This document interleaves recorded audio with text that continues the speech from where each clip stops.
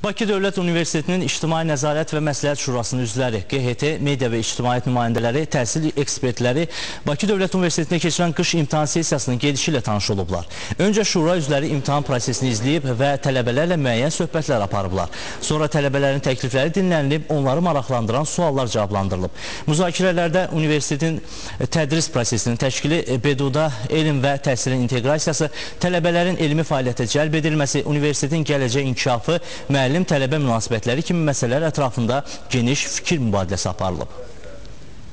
Biz artıq e, bir neçə ildir ki, bu istiqamətdə fəaliyyət həyata keçirir. Mütəmadi olaraq həm universitetdə e, semestr imtahanları müşahidə edirik.